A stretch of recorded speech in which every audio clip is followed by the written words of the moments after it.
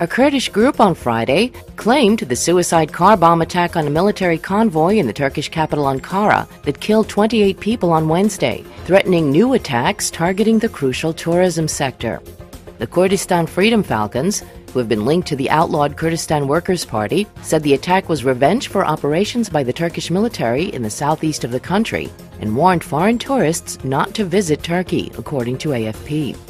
Following Wednesday's attack, Turkish President Tayyip Erdogan vowed that his country's fight against pawns carrying out attacks and the forces behind them will grow more determined.